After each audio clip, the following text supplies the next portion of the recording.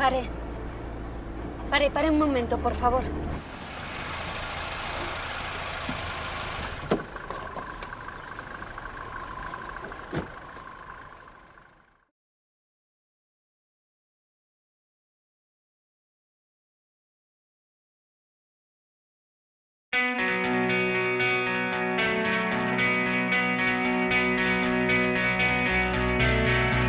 Eh,